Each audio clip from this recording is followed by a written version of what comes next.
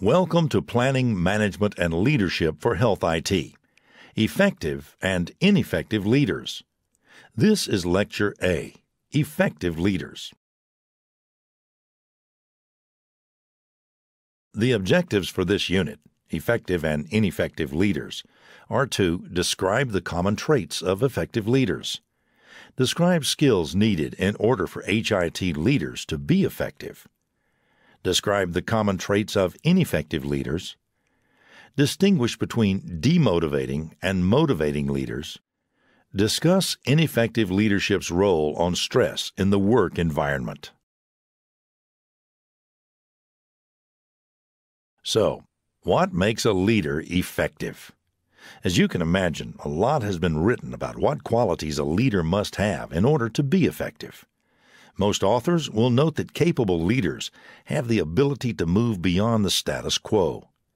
They also have the ability to challenge conventional wisdom. In the healthcare industry, maintaining the status quo worked for years. But the healthcare and the IT landscapes are changing at such a rapid pace, this is not an option anymore.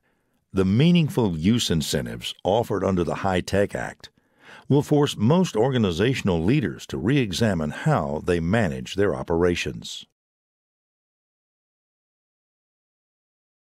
Most health systems are in the process of reviewing their IT infrastructure. Changing from an in house based software program to a cloud based or software as a service model will require not only technical change, but infrastructure and personnel change. In the future, an organization may have to determine how it will integrate genetic data into its EHRs, or examine whether or not it is ready to take on pay for performance measures. These changes will require that healthcare IT leaders have an arsenal of skills with them, both visionary and tactical. It will also mean that we'll need to learn from mistakes of the past. It is easy to speak in terms of what makes an effective leader. Anyone who has worked for great leaders can name the characteristics that distinguish them from an ordinary leader. Inevitably, a pattern of common characteristics will emerge, like the best leaders are emotionally stable, trustworthy, and inspire action. There have been many changes in the healthcare landscape in recent decades. These changes have focused more and more on healthcare providers delivering quality care to patients rather than simply increasing the volume of services they provide. We've also gone from episodic visits documented on crude, non standardized charts to hundreds of thousands of paper charts to electronic documentation. We've also gone from the single system databases that were fairly easy to manage to having to determine ways to store genetic information about patients. There are approximately 24,000 genes in each human being. We have just begun to see the complexities that will follow with managing that volume of data elements. Healthcare has always been a 24 7 business but we're now facing global pressures of medical tourism, which is when people seek medical care in other countries. This has led to disease resistant strains of viruses from other countries, as well as our own homegrown variety. What all this means to the healthcare IT leader is that the old ways of managing won't work anymore. The landscape has changed, grown more complex, and your patients have access to almost as much information as you do. As a leader, you must ask yourself how you can effectively manage everything in your daily operational environment and still keep an eye on what's coming down the road. From a technology management perspective, we have come a long way from the techno geek image that used to dominate the IT industry. In past years, it was not uncommon for a perfectly well meaning and highly skilled programmer to unveil a piece of technology that he expected the clinical staff to devour. But it rarely happened that way. The technology may have been advanced and superlative, but If it didn't mirror or support the way physicians practice medicine and interacted with patients, it would not be accepted. Over the course of the past decade, the healthcare technical staff started emulating other successful leaders.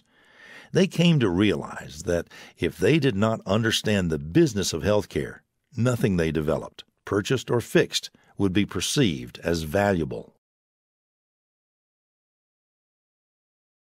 They realize that technology is certainly an enabler, but it's only 20% of the problem in an implementation. Plugging a server into the wall is the easy part.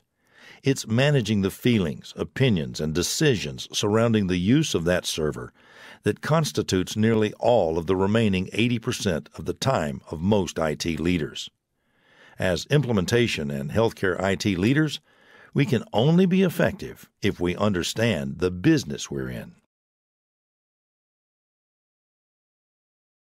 The soft skills a healthcare IT leader must have include knowing how to manage change and persuading audiences of the value of IT. Encouraging people to change their behaviors or their mindsets is not easily accomplished and requires a good ear and lots of patience. It also requires that leaders be persuasive but not aggressive. The last soft skill, being a good listener, applies to leaders across the board. In healthcare IT, it means listening to a multitude of different stakeholders, from physicians to nurses to administrators to patients to your own IT staff. Each group needs to know that you are truly listening to them and trying to understand their pain points and problems. Technically proficient IT personnel, who are also good communicators, are difficult to come by. There will be many things about the addition of new technology into an organization that need to be carefully explained so that other organizational leaders and partners understand the implications of their decisions surrounding technology purchases. Effective leaders have learned to master the art of taking a very complicated technical topic and doing the analysis for their counterparts in the organization. Part of our job as healthcare IT leaders will be to act as the translator between the clinical, administrative, and technical staffs of our organizations. Being able to persuade an organization to make data driven decisions instead of reactionary decisions will require careful understanding of both the technology and the business of healthcare. Finally, we'll close with an examination of three traits of effective leaders, excerpted from an article by Dan McCarthy entitled The Top 10 Challenges of the New Leader. Most of these lessons are not in the leadership books because they show the less glamorous side of leading and are tough lessons for the new leader to learn.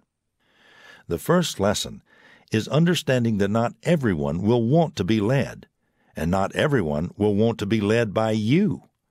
This is a bit of reality that's good to understand at the beginning of one's leadership career.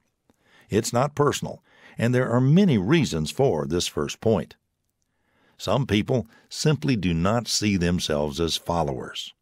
Some think they should be the leader, and some are simply withholding approval. The point is that leaders must earn the respect of the people they're leading. Having a title bestows nothing.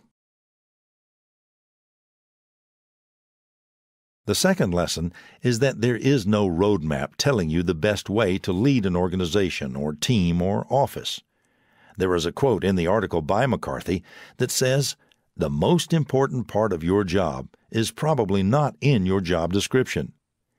This means that you have to get your entire team to the finish line and across hurdles and obstacles. But it's your job. The successful leader will be unyielding in getting to that finish line.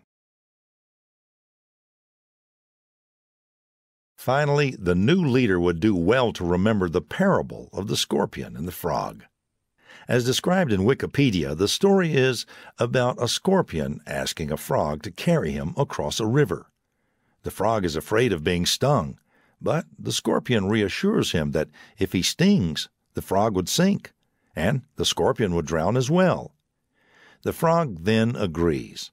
Nevertheless, in mid river, the scorpion stings him dooming them both, When asked why, the scorpion explains, I'm a scorpion.